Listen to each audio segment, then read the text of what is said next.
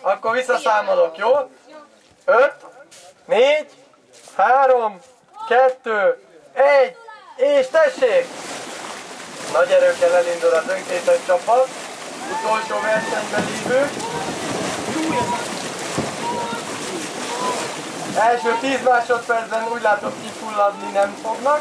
Az utolsó előtti hajó is elindult a PET Kupa hétfői szakaszának nyitó gyorsasági versenyén. Végül az önkéntesek hajója 1 perc 59 másodperccel a második lett ezen a mini versenyen, aztán indultak tovább Balsára. A sok-sok veterán induló mellett olyan is akadt, aki bár hosszú ideje a rendezvény része önkéntesként, idén először ült hajóba és szállt versenybe. Olyan önkéntesekkel vagyok legénységként a fedélzeten, akik már rutinos visszatérők, tehát harmadik, negyedik, akár hatodik éve is itt vannak a PET kupán, tehát nagyon sok hajót láttunk elkészülni, és nagyon sok hajót, PET hajót is segítettünk megépíteni, ezért elég jó alaptudással vágtunk neki a történetnek és az előző hónapban megrendezett Tisza Tavi Petkupának a hajó maradékait használtuk fel, így ez valóban egy még inkább újrahasznosított alapanyagokból elkészült PET hajó.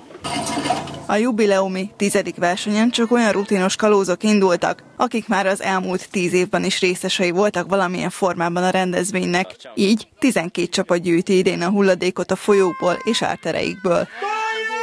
De vannak ismert hangulatfelelősök is, akik az első perctől szívesen állnak a kezdeményezés mellé minden évben. Tulajdonképpen én sodródtam az árra, tanult kollégáim sokadik természetfilmet forgatták, és nekem lehetőségem volt ott, mint a magyar Ettenboró. Szóval műsorvezetőként részt venni, bevittek a föld alá, fölvittek óriás tölgyfákra, a fertőtavon mindenhol segítség nélkül napokig egyedül számkivetve, de jó volt, én szeretek a természettel együtt lebegni. És ezután egyértelmű, evezni jössz, van lesz egy ilyen takarítás a folyón, hát persze, jövök, nem tudtam mi lesz a feladat, de ők sem.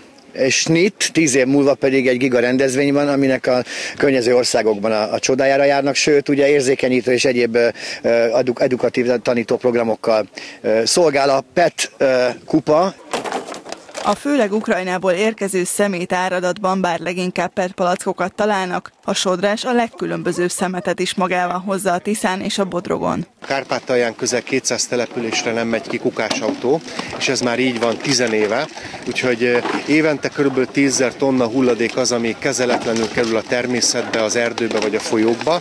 Ennek egy része bekerül a vízfolyásokba, ugye utazik határokon át, eljut hozzánk is.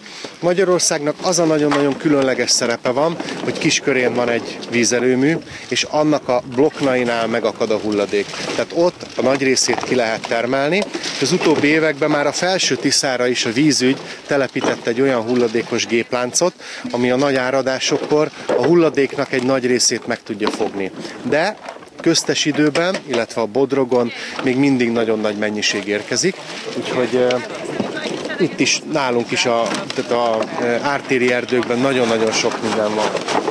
Például láthatóak a különböző strandeszközök, papucsok, itt az egyik legnagyobb ellenségünk a, a polisztirol, ismertebb nevén hungarocell, illetve van még nagyon sok purhab szigetelés, poliuretán, ezek aprózódnak a leggyorsabban. A Dombrától Tiszadadáig tartó 86 folyam kilométeres szakaszt végig fogja kísérni a szokásosnál alacsonyabb bízállás. Emellett pedig az időjárás viszontagságaival is meg kell küzdeniük a kalózoknak. Vasárnap elérte őket is a vihar, és már az első nap motoros hajókkal kellett menteni.